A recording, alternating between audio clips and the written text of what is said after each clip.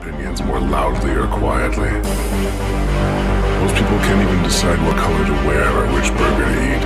What does it matter, man?